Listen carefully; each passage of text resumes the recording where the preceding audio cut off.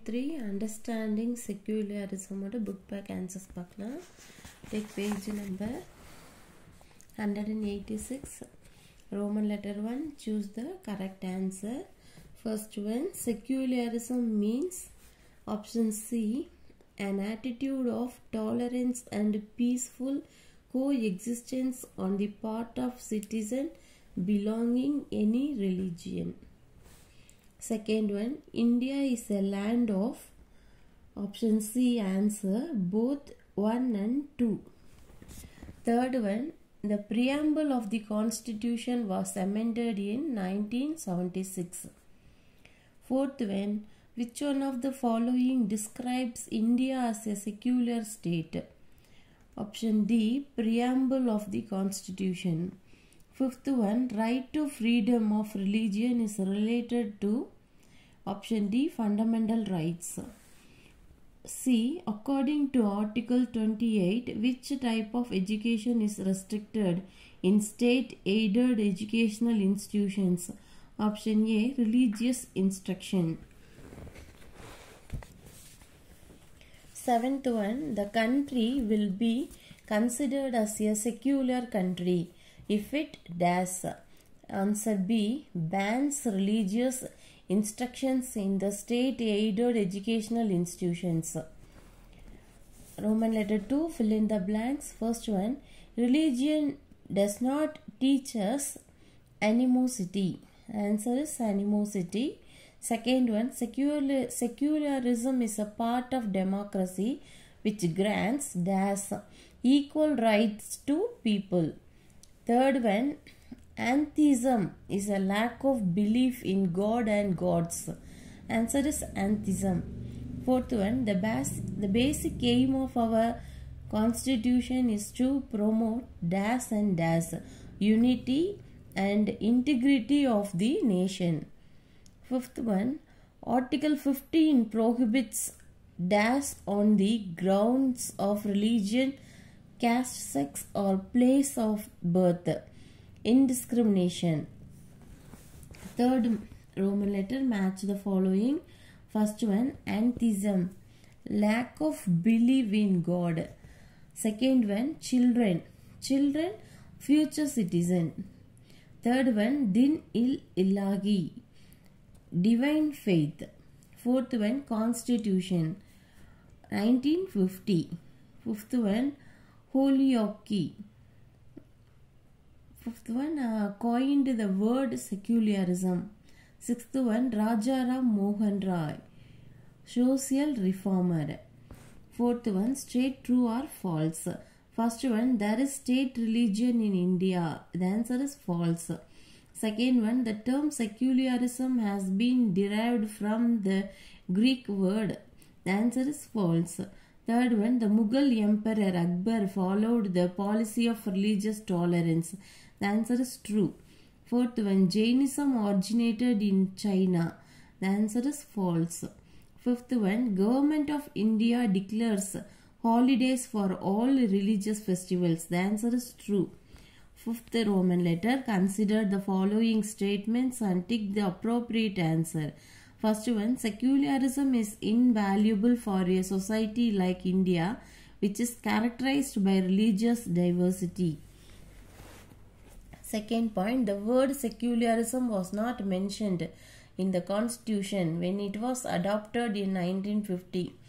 Third one, Article 26 deals with payment of taxes for the promotion of any particular religion. Fourth one, Akbar's tomb situated at Sikandara near Agra. The answer is D, option D. First, second, and four only. Second one, assertion. A, foreigner can practice his own religious faith in India. Reason, the freedom of religious is guaranteed by the constitution not only for indians but also for the for the aliens also the answer is b both a and r are true and r is the correct explanation of a third one assertion secularism is invaluable in india Reason India is a multi religious and multicultural country. The answer is option A. A is correct and R is the correct explanation of A. Then fourth one, find out the wrong pair. Option A, Din Il Ilahi, a book. This is the wrong option. Uh, Roman letter 6, answer the following in one or two sentences. First one, name some of the Indians who contributed to spread of secularism. Take page number 182. Rajaram Mohan Rai, Sir Syed Ahmad Khan, Rabindranath Tagore, Mahatma Gandhi and B.R. Ambedkar. Up to this first question answer. Second question, what does secularism mean? Take page number 183. Secularism means an attitude of tolerance towards other religious and peaceful coexistence of citizens belonging to different faith. It is a policy of neutrality and equality by the states toward all religious communities. Up to the second question answer. Third question. State the objectives of secularism. Take page number 183. The objective of secularism la first point one religious group does not dominate another. Second point some members uh, don't dominate other members of the same religious community. Third third point the state does not enforce any specific religion nor take away the religious freedom of individuals. Up to this question number 3 you would answer. Fourth one, why is it important to separate religion from the state? Page number 183. A secular state is the one in which the state does not officially promote any one religion as the country's official religion and every religion is treated equally. Up to this fourth question I would answer. Fifth question What are the characteristic features of a secular state? Take page number 183. The characteristic features of secular state la first principle of liberty. The state permits the practice of any religion. Next point principle of equality. The state does not give preference to any religion over another. Third point principle of neutrality. The state remains neutral in religious matter. Up to this fifth question answer. Sixth question mention any three constitutional provisions related to secularism. Take page number 184.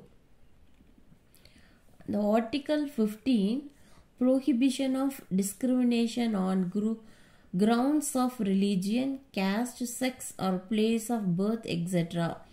Next point, Article 16, equality of opportunity in public employment. Up to this எழுதிட்டு the last வந்து Article 29 2ல a ban on discrimination in state aided educational institution இது வரைக்கும் sixth கொஸ்டினோட answer then seventh Roman letter answer the following in detail First one, why we need secular education, page number 184 and 185.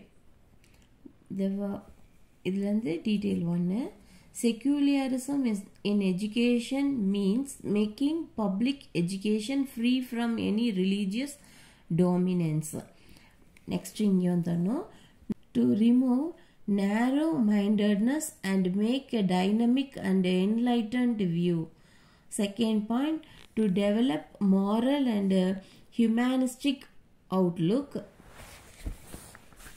Third point, to train the youth to be good citizen. Fourth point, to strengthen democratic values like liberty, equality and uh, fraternity and cooperative living. Then fifth point, to give wider vision towards life. Then sixth point, to develop an attitude of appreciation and understanding of other points of view.